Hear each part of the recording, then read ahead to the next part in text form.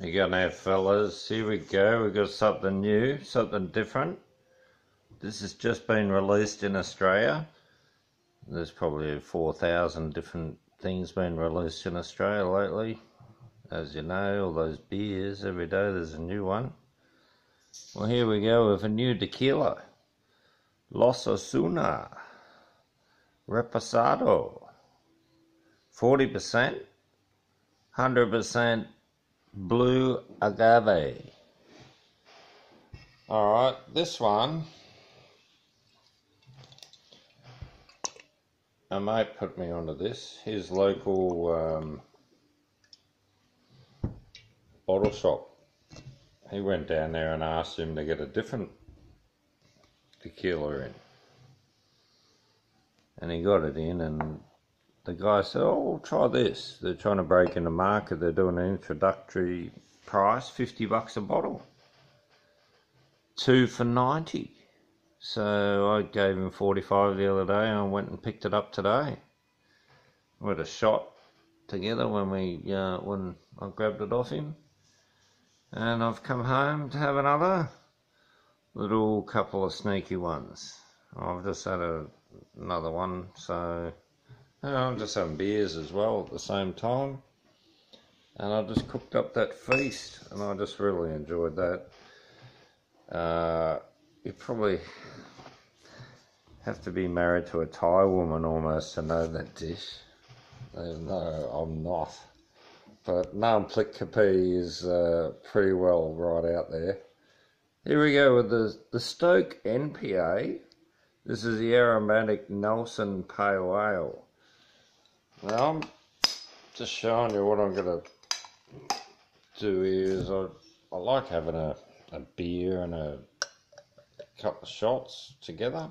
A beer chasers, that's always good I reckon. But I'll tell you what got me today was this beer. Because I had one, of course. I've had a couple of another ones and a few other bits and pieces. But anyway, this beer, look at the head on it fantastic head. And what what's even better is uh, the taste. The taste delicious. Well done. Great nose.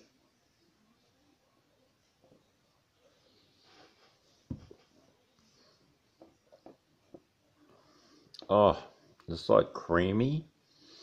And it's almost like a hint of that really good Manuka honey. For some reason, it's just got this hint of honey. Um, it is delicious. It's only 4.2. It's a session ale, but it's so delicious. Oh. And what's so good is I think it's on special at Dan Murphy's for this month. It just started today, and I went in and checked the list and grabbed it because they didn't even have the signs up or anything. And I'm glad I found it because that's delicious. That's a really good beer. Well done. New Zealand, they're pretty good at a lot of things. Fiery uh, Maoris, they're great people. I love the Maoris. The New Zealanders are usually pretty good people. So anyway, all rounders, the New Zealanders, and they're that good that they can go to Thailand anytime they want with no visa. How good's that? Piggy Muldoon, thanks for that. It was Piggy Muldoon gave some cows to Thailand, so he let them have a free visa. All right, I'm going to have some lime. This is off uh, Friend's Garden. We've got a little bit of salt there, and we're going to whoop it in. Ooh, sour. Ooh, wicked. Mmm.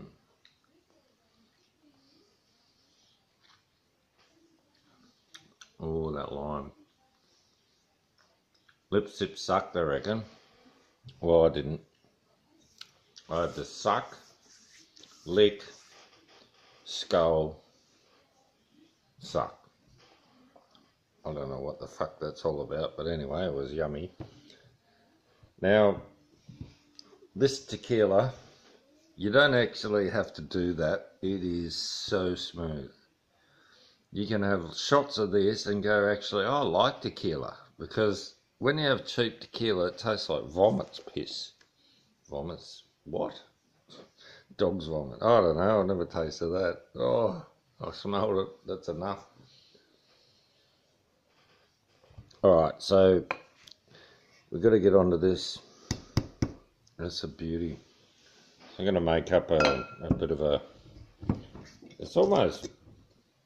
You're almost better off just having little straight ones. And maybe you don't have the lemon. But what I had before was I just had a little one. With a little bit of um, lime. And a bit of mineral water. And for all you suckers that think tequila's no doesn't taste any good and it's not a good mixer, cheers. Because I tell you, it's a fucking ripper. Mmm. High class, high quality. It's like having a really good gin. It's just yum. And this beer is beautiful. And these little sippers. The little sippers. Oh yeah, that's yum. It's probably the best tequila I've ever had. And I've had quite a few. I've been to Mexico three times. Uh, spent four months in Central America on one trip. And then come back through and also did another trip years before that. So I sort of know mezcal. I had a lot of worms and tequila. And it was not very good. It was really crappy. It was fucking horrible. If you ask me, it's fucking horrible. Just fucking horrible. But this, this is delicious. This is what we're talking about. This is happy days. I don't know what to drink anymore.